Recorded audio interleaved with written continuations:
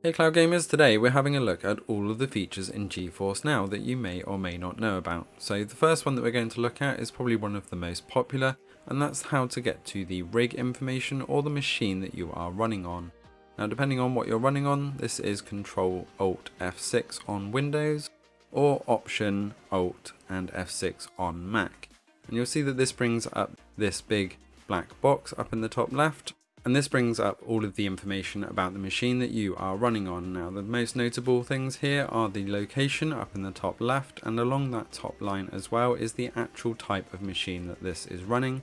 So you can see that this is running a GeForce GTX 1080C which is one of the smaller rigs but more than capable for most games, still a GTX 1080 equivalent.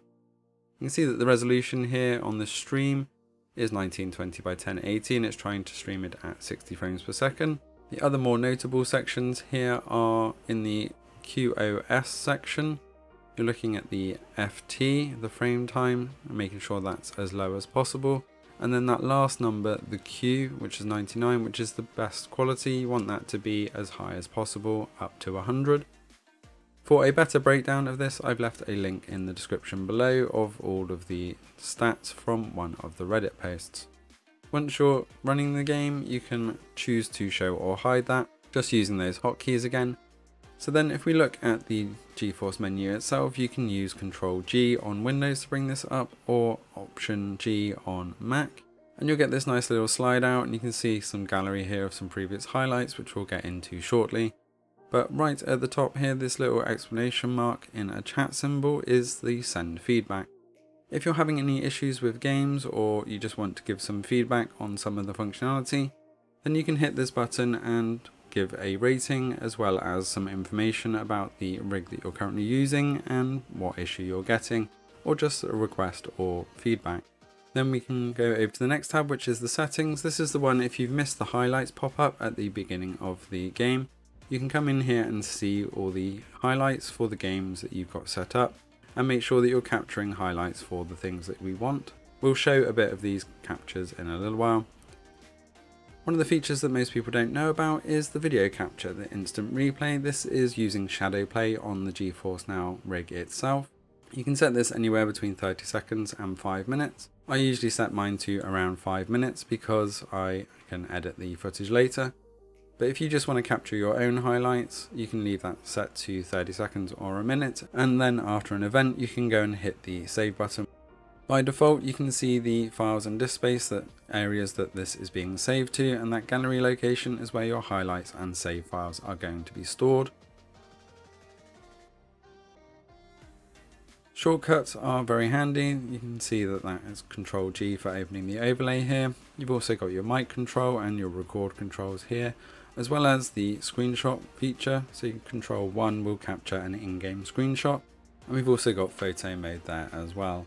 For the heads up display, this is not very useful for a lot of people, but if you want to see the status of things like the instant replay record and when highlights are being captured, you can choose where they appear on your screen. You can see toggling these just moves the icons around the screen if they are enabled.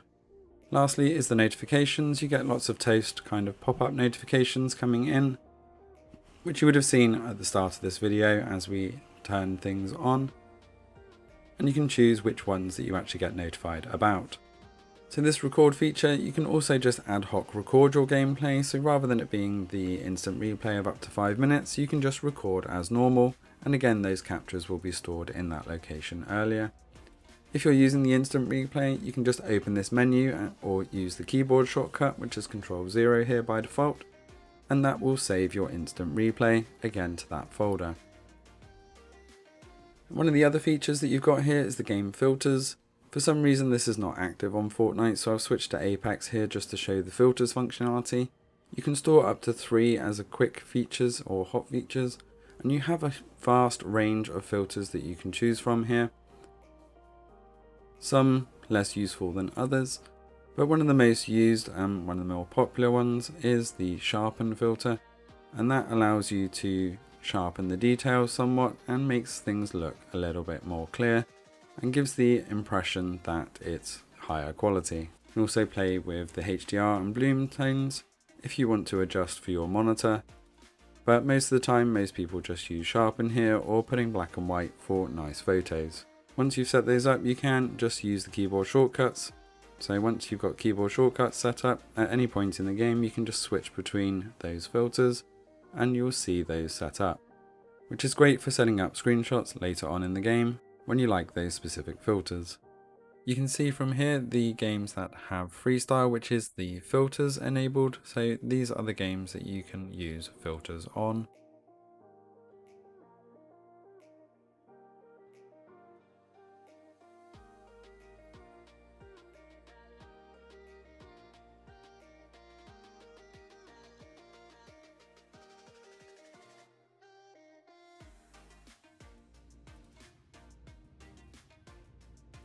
One of the less common features available in the GeForce Now games is the Ansel photo mode. Now you can see this when it's available in games because you get this extra photo mode option and when you select this you get rid of the HUD and you can change some filters and change the camera angle as well as the field of view to line up your perfect shots for you then to take your screenshot.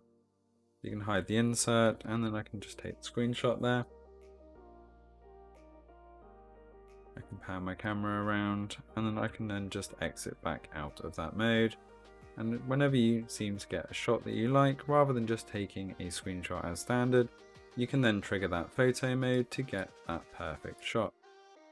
Now this is limited and you can see the selection of games available from the website here, which have the Ansel features which includes screenshot and filters, even though that's really classed as freestyle. All the games here with the star do not have that photo mode, but they do have all of the other features, but the ones without the star have the full photo mode as well. So switching over to Fortnite then, again to see some of the highlights here, you'll see that as we've got the kills here, once you've got that kill, you will see if you've set the notification enabled, a new notification up on the right saying that your elimination has been saved here as that is the highlight that has been saved. That will save a 20 second capture just overlapping when that actually happened. So you get a nice little snippet that you can then upload to where you choose or just to keep as a keepsake. You can see a couple of kills here using the Mandalorian sniper rifle and a few misses as well. Here you can see all of the games that have highlights enabled on GeForce Now, so you'll be able to use that full functionality. That's pretty much it for all of the features. Let me know if you discover something else for us to cover in future and hopefully you found this video useful. If you did, please hit that like button and don't forget to subscribe to stay up to date with all the latest across all cloud gaming platforms and we will see you next time.